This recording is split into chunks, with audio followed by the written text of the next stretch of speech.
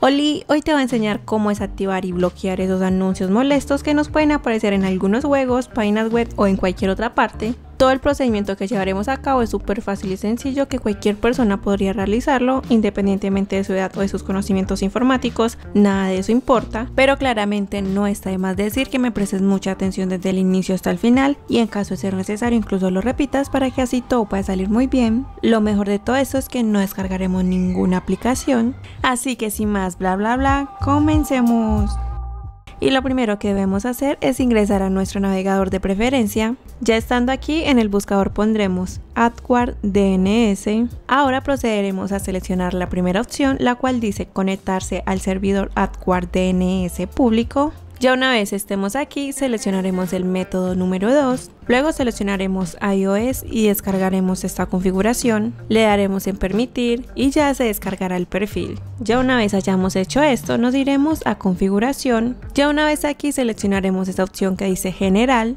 y luego seleccionaremos esta opción que dice administración de dispositivos y VPN. Una vez estemos aquí nos aparecerá el perfil que acabamos de descargar, lo seleccionaremos y instalaremos este y puede que por seguridad te pida el pin del celular, como fue en mi caso. Luego de haberlo instalado nos aparecerá esta otra opción aquí arriba, la cual nos indica que ya se está utilizando. Algo de esta es que no siempre funciona, pero si logra bloquear la mayoría de los anuncios que aparecen. Y listo amor, eso fue todo. Sígueme para más contenido, nos vemos en un próximo video. Chao, besitos.